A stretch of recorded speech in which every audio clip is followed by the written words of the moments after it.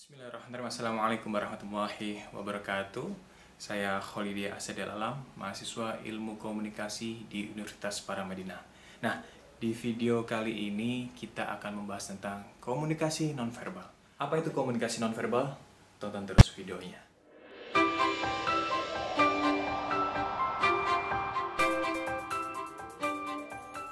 Ngomong-ngomong tentang komunikasi nonverbal, tentunya yang di benak kita pastinya berpikir tentang komunikasi verbal. Apa itu definisinya? Ini dia. Komunikasi nonverbal adalah semua bentuk komunikasi manusia yang dilakukan tanpa penggunaan bahasa atau kata-kata atau kalimat, yaitu dengan menggunakan isyarat, gerak tubuh, kode, dan sebagainya. Komunikasi verbal adalah semua bentuk komunikasi manusia yang melibatkan penggunaan bahasa atau language, yaitu sistem makna yang terdiri dari kata-kata dan kalimat.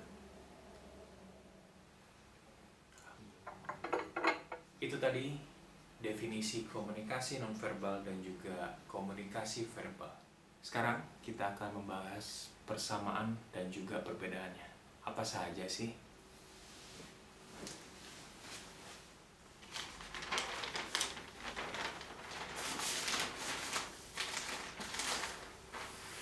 Komunikasi verbal dan juga komunikasi nonverbal sama-sama mempunyai persamaan dan juga perbedaannya. Persamaannya adalah masing-masing mempunyai fungsi untuk menyampaikan pesan dan juga masing-masing mempunyai aturan dan bisa terjadi dengan sengaja maupun tidak sengaja. Contohnya, misalnya kita di jalan sedang berjalan tanpa sengaja bertemu dengan seorang teman kita. Otomatis biasanya refleks tubuh kita bisa mengucapkan salam, assalamualaikum atau hey, dan juga berikutnya dengan gerakan atau gestur tubuh, misalnya memberikan tanda. Nah, ini komunikasi nonverbal, menyapa dengan tangan, melambaikan tangan, atau assalamualaikum. Nah, itu menggunakan komunikasi verbal atau lisan atau ucapan. Jadi sama-sama bisa terjadi disengaja maupun tidak, dan juga merupakan refleks dari tubuh kita. Sedangkan komunikasi nonverbal perbedaannya dengan komunikasi verbal adalah komunikasi verbal itu cenderung mendapatkan perhatian lebih banyak untuk studi banding daripada komunikasi nonverbal. Aturan komunikasi verbal itu lebih jelas dibanding dengan aturan komunikasi nonverbal. Karena jelas, verbal itu lebih mudah untuk menilai dan menerjemahkan daripada nonverbal menggunakan tanda atau simbol-simbol. Berikutnya, komunikasi verbal lebih mudah dikendalikan daripada komunikasi nonverbal. Dan yang terakhir, komunikasi verbal cenderung menggunakan aktivitas otak bagian kiri, sedangkan komunikasi nonverbal cenderung menggunakan bagian otak sebelah kanan. Otak kanan biasanya lebih mudah atau lebih cenderung beraktivitas untuk menangkap simbol-simbol dalam mata kita, dirangsang ke otak, atau menangkap tanda-tanda apa yang dilihat oleh mata dan diterjemahkan, termasuk tentang imajinasi. Karena komunikasi nonverbal tersebut menggunakan tanda dan simbol, otomatis lebih sering menggunakan otak bagian kanan.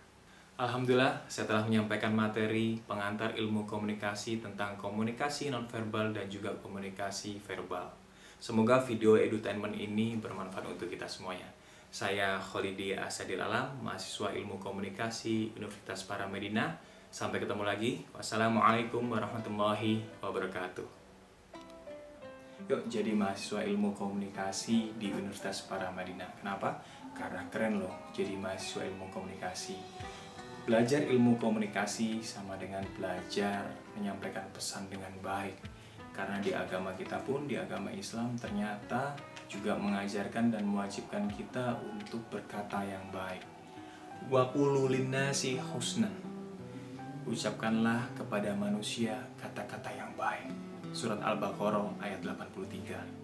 Kaulan syadida, berkatalah dengan yang benar. Surat An-Nisa ayat 9. Kaulan baligo, berkatalah yang berdampak efektif. Surat An-Nisa ayat 63. Kaulan ma'rufa, berkatalah dengan kata-kata yang baik. Surat Al-Baqarah ayat 235, Surat An-Nisa ayat 5, dan juga ada di Surat Al-Azab ayat 32.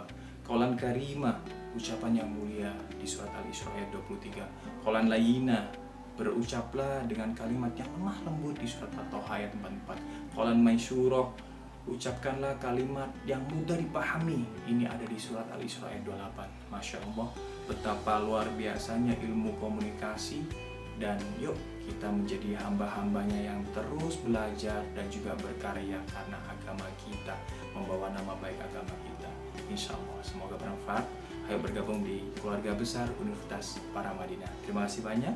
Wassalamualaikum warahmatullahi wabarakatuh